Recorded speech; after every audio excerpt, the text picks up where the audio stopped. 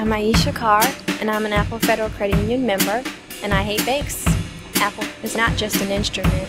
To me, Apple Credit Union is something that you want to be a part of for life, as opposed to a bank that's doing a one transaction. At Apple, the experience is first, the relationship is first. It's great having JD on your side. He actually functions as a personal banker, if you will. Apple treats me as a VIP, and I wholeheartedly and humbly appreciate it.